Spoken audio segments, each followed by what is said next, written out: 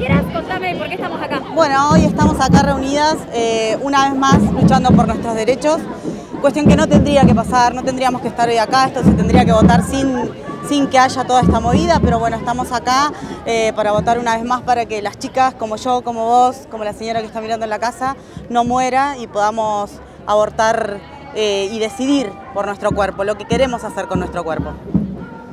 Estamos acá porque estamos luchando para que las mujeres puedan decidir sobre su cuerpo y sean libres y eso. ¿Por qué hoy es un día histórico?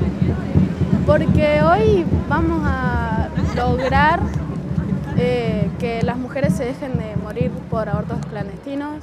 Y estamos para que salga la ley de despenalización del aborto, digamos que es eh, precisamente algo por lo que venimos luchando yo, eh, que ya tengo varias generaciones, para las que venimos luchando, digamos, un derecho de la mujer dentro de tantos otros, digamos, que es que nos permitan decidir sobre nuestro cuerpo.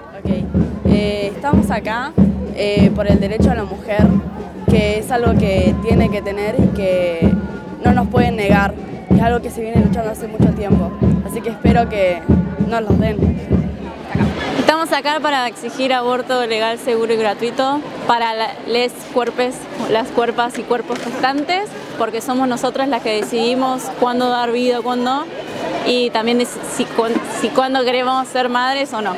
Y bueno, estamos acá para pelear por algo que era una pendiente para toda la sociedad de la Argentina y de las mujeres de Latinoamérica.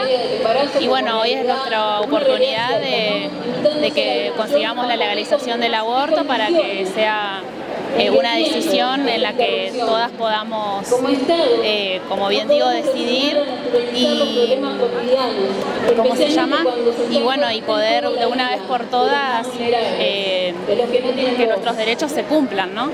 que es algo que queda pendiente en este país y bueno, hoy es una gran oportunidad para que eso pueda de una vez por todas concretarse.